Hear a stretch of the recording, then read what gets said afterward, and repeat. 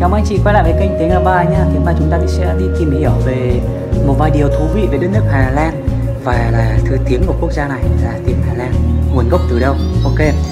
Thì đầu đầu tiên hơn một, hơn một phần tư lãnh thổ nằm dưới mực nước biển. Có thể bạn chưa biết quốc gia châu Âu xinh đẹp này có một phần tư lãnh thổ nằm dưới mực nước biển. Không những thế, theo tính toán, 50% diện tích của nó chỉ nằm cách mực nước biển chưa tới 1 mét. Đây là một trong những điều cần biết về Hà Lan dành cho bạn. May mắn, may mắn thay, Hà Lan không phải là quốc gia hứng chịu những thiên tai như sóng thần, vì thế du khách đến đây có thể hoàn toàn yên tâm du ngoạn. Điều thứ hai, người Hà Lan là người cao nhất thế giới. Với chiều cao trung bình 1m84 đối với nam và 1m7 đối với nữ, Hà Lan là quốc gia có nhiều cao lớn nhất thế giới. Theo nghiên cứu các nhà khoa học, nguyên nhân là vì DNA, dinh dưỡng và phúc lợi của họ ở mức tối đa một số người dân Hà Lan còn cho rằng họ cao là vì uống nguồn sữa tươi phong phú tại đất nước của mình. Điều thứ ba, Hà Lan là quốc gia đầu tiên hợp pháp hóa hôn nhân đồng tính.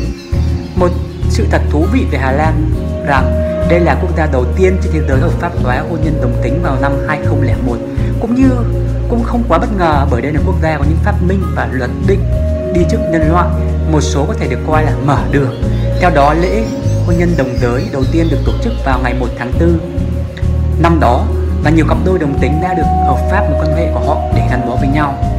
Thứ tư, Hà Lan là đất nước duy nhất trên thế giới không có vật nuôi bị bỏ rơi. Có một sự thật tuyệt vời là không có bất kỳ con chó con mèo vô gia cư nào lang thang trên đường phố Hà Lan theo xác nhận của chính phủ Hà Lan mới đây. Lý do được đưa ra tất cả được tất cả những loài vật nuôi đều được nuôi dưỡng chu đáo trong các gia đình ở đây Cùng với đó, chính phủ Hà Lan cũng có những chính sách kịp thời ngăn chặn những tổn thương vật nuôi, ban hành những luật nghiêm khắc về chống lạm dụng động vật. Thứ năm là người Hà Lan sở hữu xe đẹp hơn so với bất kỳ quốc gia nào trên thế giới. Đây chính là một những điều thú vị nhất về Hà Lan mà bạn cần biết trước khi đặt vé máy bay đến đây.